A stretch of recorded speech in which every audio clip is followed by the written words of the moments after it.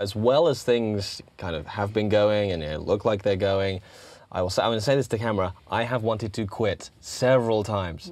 Um, there has been times where I've just gone, I'm never stepping up in front of the mic again. Forget it. You know, when you don't book and the clients don't come back, because nobody really tells you that 90% of the job is going to be rejection. Right. So when you've, you seemingly fail at something that's so personal to you, um, and you have to be vulnerable to be an actor as well, it really, really hurts.